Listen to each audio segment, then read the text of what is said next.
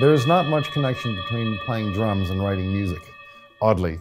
Drums is a instinctive elemental participation in something.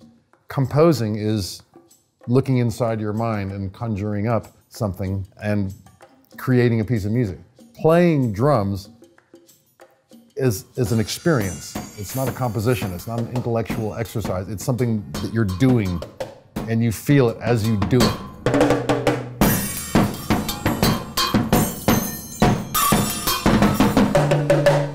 This is a useful instrument. It's from Bali, and it is the cheng cheng.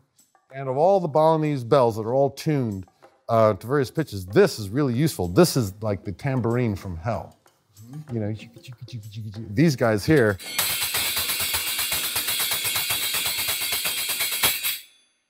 You can cut through any band with that shit. You know. Found this in China.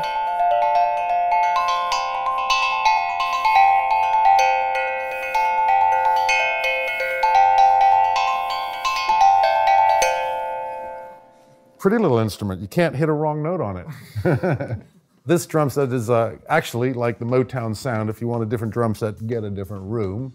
I got it all tweaked out. This is the snare right here, in fact, that I recorded all the hits on. It is actually a uh, Pearl, and I don't even know how it got into my collection, but it has mismatched hoops.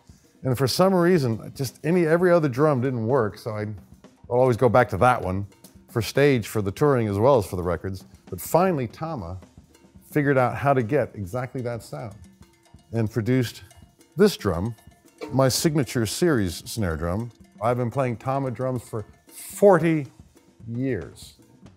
They called me up at the, NAMM show to do, you know, to speak about my love of Tama drums. And so my speech consisted of 40 years. Thank you. Thank you.